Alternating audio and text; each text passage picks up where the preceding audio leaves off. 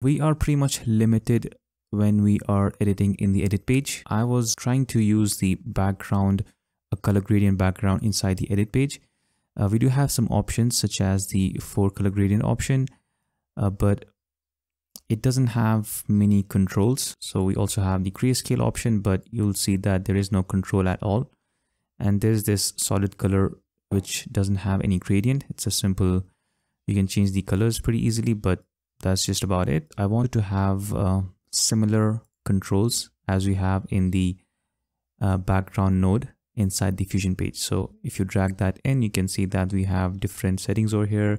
We can change the type from solid color to all of these different categories and you can change the color and the position and everything else right over here. I want this to be inside the edit page. Well, you can also do is you can create a fusion composition. You can see that fusion already did it for us, but you can create a fusion composition for this and drag that in and then you can go inside the edit page.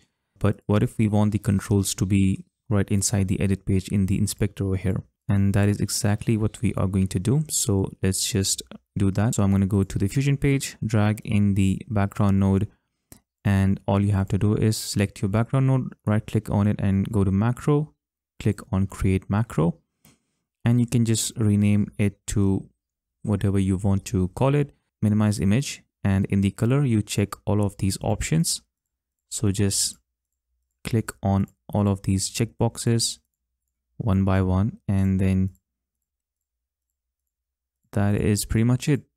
Then you can go to file go to save as and save your macro in the edit page. So you have to go to fusion and go to templates and then there will be a folder called edit generators and then you can just save your macro inside this folder. All right so once you save it then you have you can access it right inside the edit page.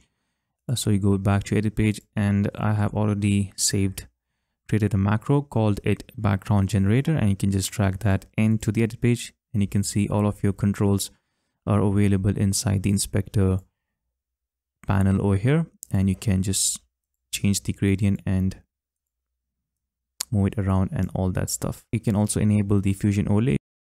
Uh, you can just click on it and you can just from this list select Fusion Overlay.